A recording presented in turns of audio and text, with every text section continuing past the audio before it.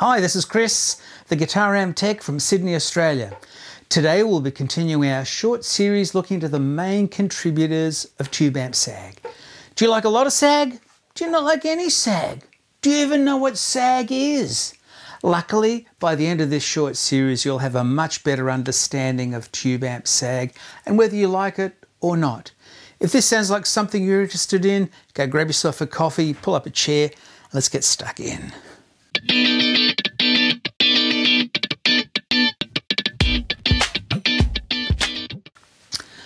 Let's do a quick recap on our rectifiers. We'll start off by looking at the solid state rectifiers, silicon diodes, and how incredibly efficient they are. They have very little voltage drop across the diode itself. If we look at this uh, very popular 4007, we'll see that the forward voltage drop, VF, is only 1.1 volts.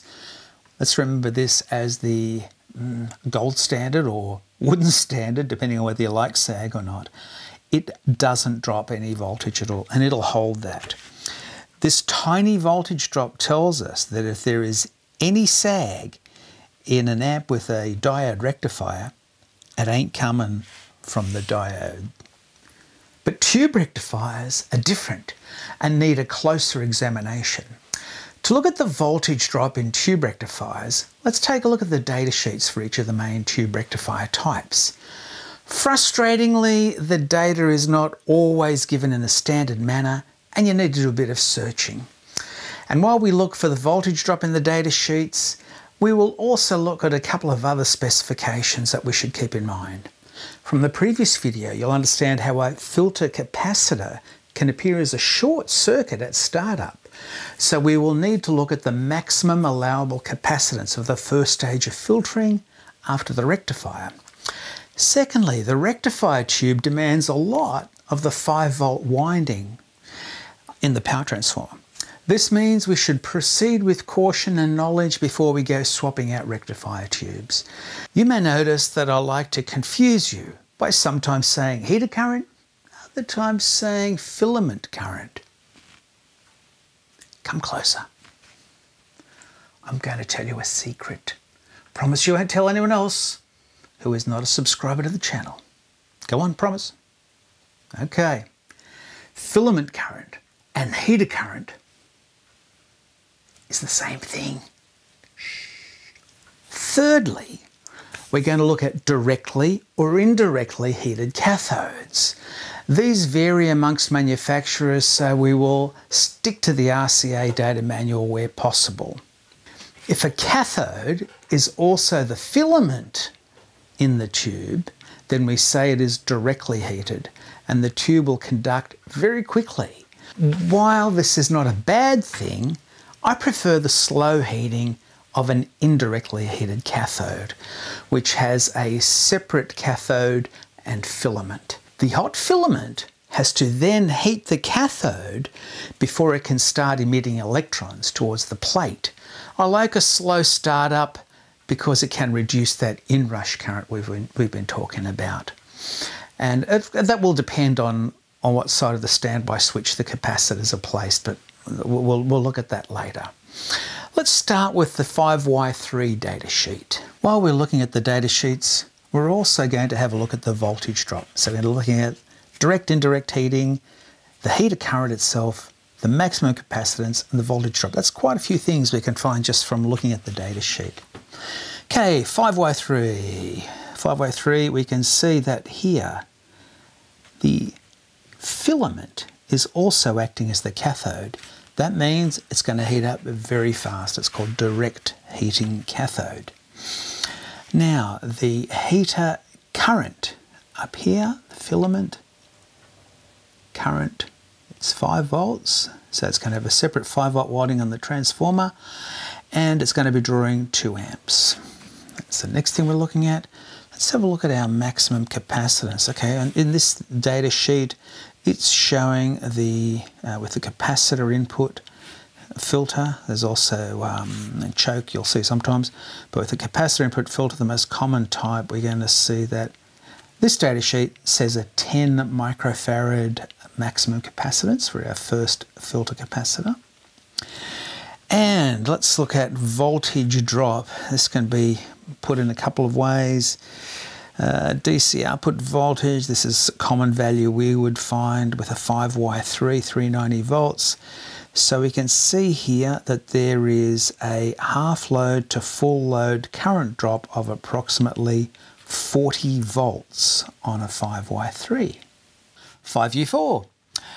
Now let's have a look at the schematic for that tube itself and we will see that it is a directly heated cathode. The filament is also the cathode. So a 5U4 will heat up very fast. Now let's see if we can find the filament uh, current. It's not in the chart. This time we've got to look in the text. As I said, it's it varies where you find this data, frustrating at times. Once again, needs a 5 volt supply, 5 volt AC. But this time, I've drawn right through it, uh, it's a 3 amp uh, filament current. That's 50% more than um, the 5Y3. Now, maximum capacitance. Uh, got a little table here. Uh, look, the, mac uh, the maximum DC voltage we normally see in a guitar amp would be, say, 430. Uh, it's got to be somewhere around here, probably closer to here than there. So um, it's going to have a maximum capacitance of 40 microfarads. And it's going to have a voltage drop of somewhere between 45 and 60 volts.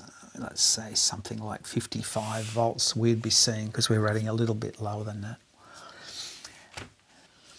To the 5AR4. Now let's have a look once again at drawing. Ah, excellent. Here we can see what an indirectly heated cathode is. Here we can see the filament and the cathode share a common line here on pin 8. But you can see here that the filament has to heat up first before it heats up the cathode, which is what then will um, start emitting the electrons. So this is a slow startup. I like slow startup. Heater current, let's see if we can find that Heat heater current. Here we go, 1.9 amps. Look at that. It is lower than a 5Y3 Okay, let's have a look at its capacitance. Um, I cut this in from another data sheet because this data sheet didn't have it at all. But maximum condenser, another word for uh, capacitor, is 60 microfarad. Okay, so let's keep that one in mind. And what else are we looking for? Voltage drop. Tube voltage drop down here. 17 volts. So we can draw a pretty good conclusion from the 5AR4 because it has the lowest of the voltage drops of any tube rectifier we've looked at and a highest the highest uh, filter capacitor we would think that a 5AR4 GZ34 has the capacity of being the stiffest if you want to use a negative term I prefer punchiest of the rectifiers that we've looked at so far behind a silicon diode. I've made a bit of a summary for you on what we found out with those rectifiers. We can see here in this little table, I've got rectifier, the maximum safe capacitance for that rectifier, typical DC volts for it, um, expected voltage drop that we can see, you know, refresh your memory, diode, 1 volt drop. Uh, the last one we looked at, 5AR4, 17 volt drop. Highest ones are 5U4 and 5Y3. The filament current, um, diode, man, it saves us totally on that 5 volt line. Um, I forgot to look at an EZ81. Oh, anyway, it draws 1 amp, um, but it's a 6.3 filament voltage compared to the 5 volt voltage and it has a 25 volt drop.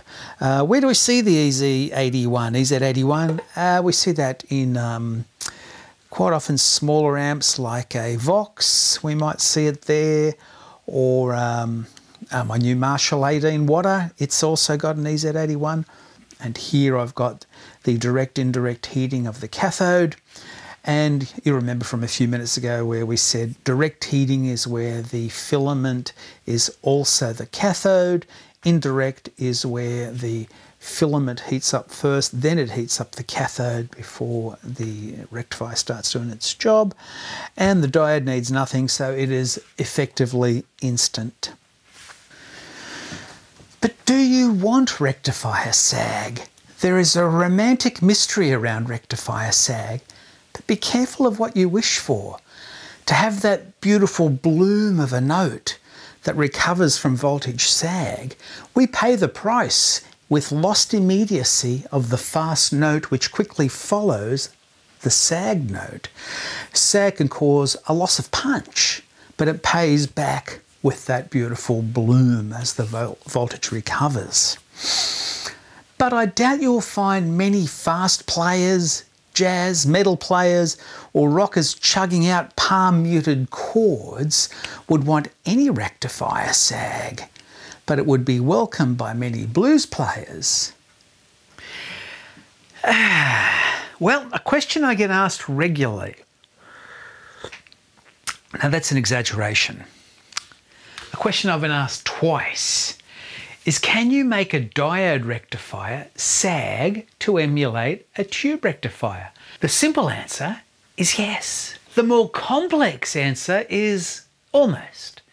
So we'll stay with the simple answer and have a look at how to do that. Let's call this current flowing out of our bridge rectifier, silicon bridge rectifier, we're going to call that our quiescent current, our steady state, no signal current, IQ.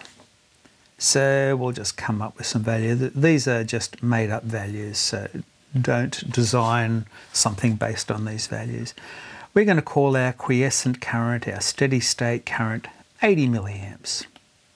That'll give us 40 flowing into each one of those two tubes in this class AB push-pull amplifier. And let's say, for example, we're going to call our I max, maximum current, let's call that, let's say it's an extra 100 milliamps. So let's say that goes to 180 milliamps. That means we've got a change in current delta means change, of 100 milliamps. Okay, now um, we've got this voltage, this resistor here, uh, which we've put in series with our bridge rectifier. And let's say we want to drop, say 20 volts. So we want to do a voltage 20 volts, but it's going to be the change in voltage that we want to look at because there will be a voltage drop before that voltage uh, current goes up. So we've got an increase in voltage drop of 20 volts. So we got Mr. V equals IR or R equals VI R equals uh, 20 divided by our change of um, 100 milliamps, which is 0.1 of an amp. So that's R divided by 0.1, sorry, V divided by 0.1, which is 200 ohms. Now there's no such resistor as 200 ohms as far as I know, so let's call it 180 ohms. So we're going to put a 180 ohm resistor there in series. So quiescent voltage drop, because there's always current flowing through there. So voltage drop quiescent is 80 milliamps, which is 0.08, times uh, 180 is uh, 14.4 volts We've got uh, the maximum voltage drop across there, which we'll call VM, is uh, 180, uh, which is 0.18 times 180 ohms. That's a bit confusing. And that is uh, 32.4. So that means our change in voltage drop is our delta V, so we're just double checking that, is 32.4 minus 14.4, which equals 18 volts. Now, we planned on 20. How come we only got 18? Well, the reason is because we changed our resistance here from 200 ohms, because I said I couldn't find a 200 ohm resistor, into 180 amps, hence the 18 volt. But notice the price we pay for doing this resistor. That means even the quiescent voltage, we're going to see a reduction in B plus of 14.4 volts. Less. With nothing going through it. So we're going to lose some B plus. That is not always a bad thing. Sometimes we just need to drop that B plus. This is a convenient way to do it. And, um, you know, we're going to also simulate a little bit of sag if that's what we want. Now, before we go putting in our 180 ohm quarter watt resistor in there, let's just check what wattage we're going to need. So we're going to use our P equals I squared R formula. And we're going to say our I squared, it's, it's not 100, right? Remember our maximum current is now going to be 180. So over here 180. Um, so 0.18 squared times 180. It's 5.8 watts. Would we put in the 5 watt resistor? No, no. We're going to put in a 10 watt resistor and because it's going to get stinking hot, we're going to mount that away from anything else uh, and, and, in such a way that we'll get a good airflow, air circulation around it. So if we use a 180 ohm resistor at 10 watt, then um, we're going to see a drop of 20 volts, a dynamic change of 20 volts, um, emulating sag of 20 volts. If you want to do more, double a resistor, etc., etc. But you know how to do the math now. Hopefully I've explained that well enough. So let's now revisit filter capacitors and their effect on sag. Filter capacitors and rectifiers are a double act. One influences the other as you play your guitar. Let's take another look at the full wave rectified DC signal. This time, let's look at it after a solid state rectifier. Now here's our full wave rectified signal after a silicon rectifier. This level here is our maximum B+. plus. So let's add a filter capacitor. Let's make it a small one. Let's um, put in a 20 microfarad. At idle, we got this amount of ripple here. Let's just pull that away. It's not looking too bad, is it? So at idle, not too bad at all. But uh-oh, here comes a big open E-chord, the arm swinging around windmill style like Pete Townshend. Down the air comes and bang, we've got a sudden huge demand of power and that silicon rectifier isn't going to give an inch 20 microfarad with a big Pete Townshend open E chord. That's going to be a horrible big 100 hertz buzz in Australia. You may, you may recall from chapter 2 that 100 hertz is somewhere between a G and a G sharp and that's just not going to sound good against any note we play in the Western scale. What about in the US? Remember 120 hertz? That was between a B flat and a B.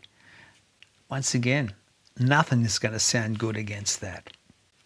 So how do we guard against that? How do we stop that huge ripple? Well, we add more capacitors. Marshall uses the double capacitors with two 50 microfarad capacitors linked together, giving us 100 microfarad as the first filter cap.